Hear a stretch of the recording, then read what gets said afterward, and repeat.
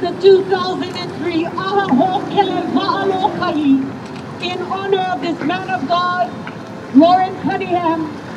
We will do a conch blow and then you release your aloha of gratitude to the creator of heaven and earth and the shouting of joy, laughter, and celebration in honor and respect this beautiful, beautiful day honored for Loren Cunningham, born in 1935, 88 years of his life. We celebrate this whole weekend long.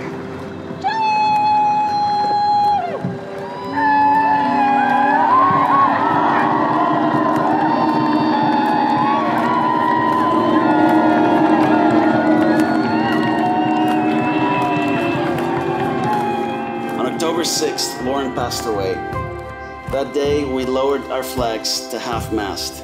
Today is 30 days later, in which we remembered and honored Loren and gave thanks for his life. Today, we gathered to raise the flags again, saying that we are committed to seeing waves of young people go from everywhere to everywhere, discipling the nations and making all of the scriptures available in all of the languages, and to lead people into the fullness of life with all the basic necessities for life enjoyed in Christian community. Today marks the start of a new season for us.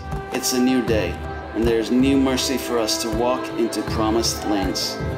In Mark 16:15, Jesus told us to go into all the world and preach the gospel to every creature.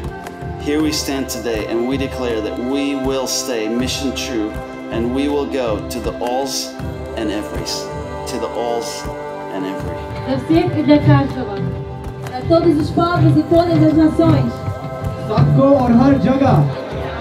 This morning, as we're about to start, the reason we're gathering is first and foremost, Loren would hate it if, if we were saying anything about him, and he would just point.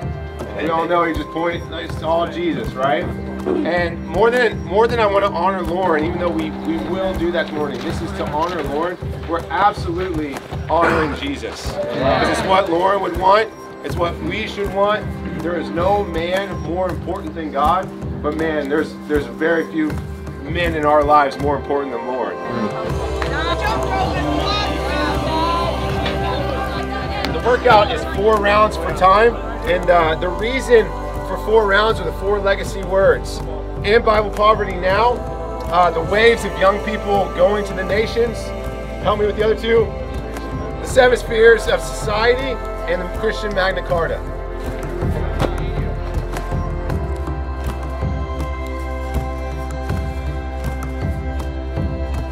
We remember Loren and we are so grateful for his life.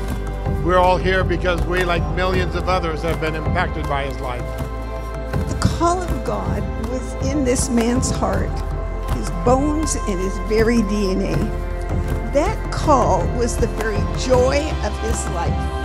It never was a responsibility, it never was an obligation. He was loved being who God had called him to be. If it required sacrifice and hardship, then so be it.